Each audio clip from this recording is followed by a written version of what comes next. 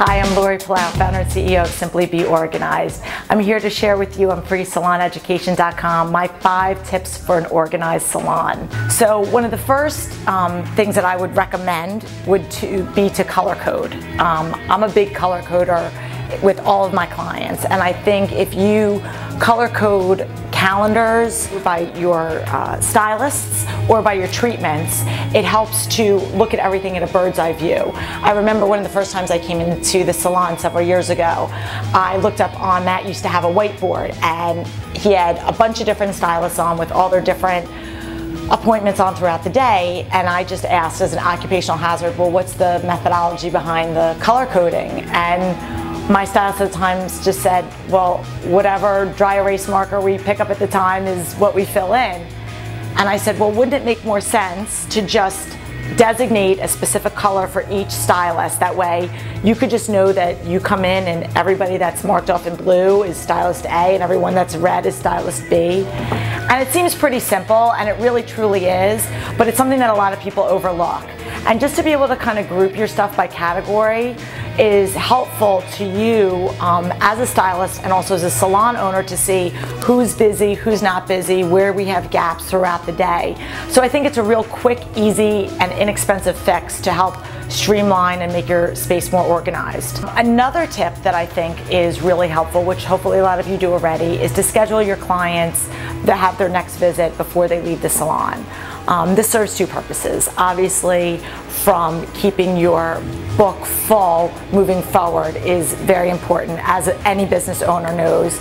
But it also helps to um, keep people on a schedule and a routine. And as an organizer, my life is based on routine. So knowing that a month from now or six weeks from now, I already have my my appointment booked in the calendar makes my life as a customer easy, and it also makes your life as a business owner much uh, less hectic than you don't feel reactive and you're more in a proactive position to get business in on an ongoing basis. In terms of the product side um, and the back end of the business, I think having an organized space to function when you're busy is critical. And so I think your mission control, whether it's your color bar or in the back in your in your storage area, you want to corral all of your like items in bins and label them. Obviously, I'm a big fan of labeling things. Um, you can label them just with regular labels or by color coding, again, in terms of shampoo, color products, conditioners, what have you. But to use inexpensive, easy to use, uh, easy to clean storage bins um, is helpful to just keep all of your items together. And a lot of the smaller tubes that you have, whether they're samples or just smaller color tubes, I recommend using smaller bins so that they don't get lost in an abyss. A lot of times people think bigger is better. That's not always the case. If you find a small, clear, like a lucite bin that's almost no bigger than a shoebox, and you can put those little small sample tubes in there, it makes it a lot easier to dig through and find them. And then also, it's easier when you need to check like expiration dates of things as you cycle them in and out. It just makes it much easier for you to, um, to stay efficient. Um, in terms of maximizing space, I think that that's really important for a salon. When somebody walks into the space, they want to feel calm and open. And so making use of as much vertical wall space as possible is really key. Um, and you can even make use of the ceilings. I know Matt's done a great job with his um, dryers coming suspended down from the ceiling. But anytime that you can use any type of a bar to hold um, different types of tools or even in the back you can use for brooms that you're constantly using. Anything to get it off the floor and have your floor space easy to sweep and clean is really important. And there's a lot of inexpensive different apparatus that you can use um, that don't have to cost a fortune or be difficult to install.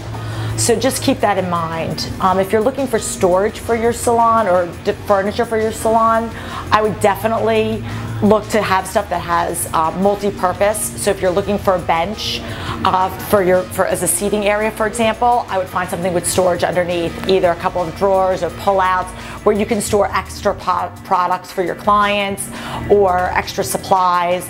Um, just really, again, maximizing the most of your space because you want to keep it as clean and open looking as possible, just to give you that visual feeling of calm. And then finally, I think a great thing, and this is really beneficial with the holidays coming up, is to put together gift baskets. And it can work all year round. But I think storage is a really big issue for people at home of what to do with their products. And I think a lot of products get lost. And as a salon owner, you want your clients to invest in good products because you believe in them. And I think that they should be used and not get lost, jumbled in their own mix of uh, you know, their bathroom or whatnot. So I think if you as a salon owner can take the guesswork out and put together a gift basket in something that the people can come home and repurpose the storage container in their own home, it makes it really user friendly for them and they don't have to think about it.